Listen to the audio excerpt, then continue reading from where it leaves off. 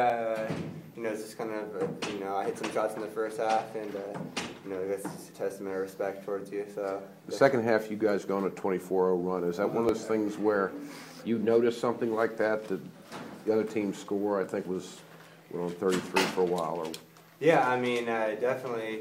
You know, we just kind of get in the groove there, and we were knocking down some shots, and uh, you know, the momentum just kind of built on itself.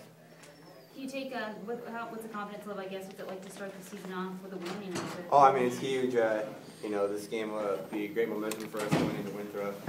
on Tuesday. Okay, thank you.